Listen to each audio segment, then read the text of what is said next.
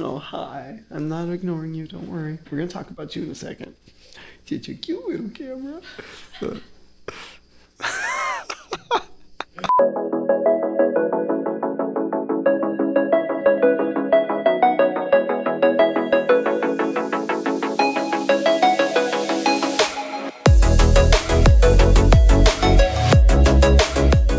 NDI PTZ cameras are everywhere. Almost every manufacturer has joined the show and is producing a camera that has NDI built right into it. But this wasn't always the case. NewTek needed to build a codec specifically for the embedded camera market since camera based processing typically isn't powerful enough to support the full NDI codec. So, not long after NDI came on the scene in 2016, NewTek introduced NDI HX about a year later. It's a codec specifically built for the processing chips found in today's PTZ cameras. NewTek also introduced PTZ control to the NDI HX stream, so you could not only see the camera feed, but remotely control it as well.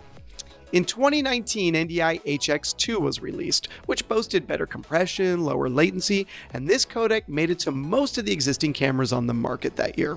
NewTek has now introduced NDI HX 3, which moves the HX needle ever closer to its full NDI older sibling.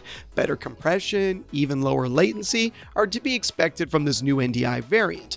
To separate it from its predecessors HX1 and HX2, they dubbed it NDI HX Ultra. But to see that, you'd need the camera. HX Ultra is not the only feature to make this camera different. NewTek added soft starts and stops to the camera movement to make the camera even more useful during production. But before we go into all that, let's call this camera out by the numbers. This is a 1080p camera with a 20x zoom and a 2x digital zoom.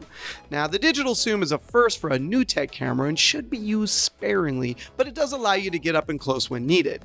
Now, the camera is PoE powered or can be used with the included power supply. It has both SDI and HDMI outputs, as well as serial control for you old schoolers who still like to run a lot of cables.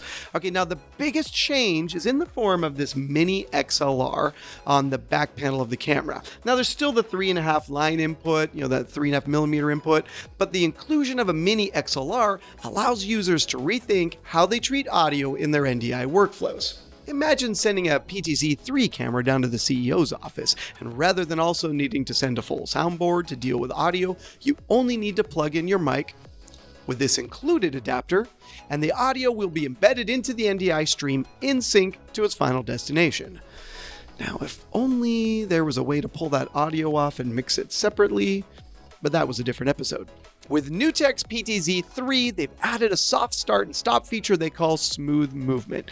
The camera speed ramps up into a preset move and then ramps back down into the finish of that preset position so that for once the actual move can be used during live production.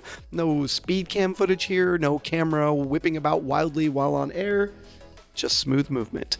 The reason to buy NewTek's PTZ3 camera are really black and white. Uh, well, I mean, the new colors they come in are black and white.